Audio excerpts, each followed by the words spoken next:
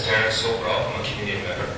And uh, I'd just like to give appreciation for this radio show. I mean, I found my voice this summer. I've overcome stuttering since I was a little child. Like, I just didn't know how to speak properly, I was very shy and nervous, but this was a pedestal for people that have freedom of speech, to speak the truth and to speak what needs to be said in a city that's going through political turmoil.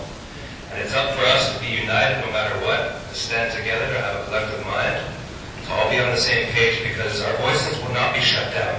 Our voices will not be silenced. Because we're, we're, strong, we got music on our side, we got the voices on our side, and we need to show the general public what we're made of.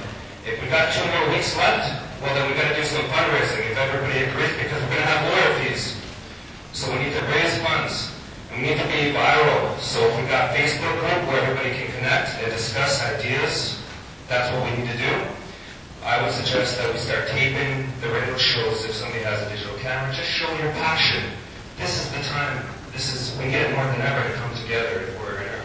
If you, if you have a radio show, show people what you do.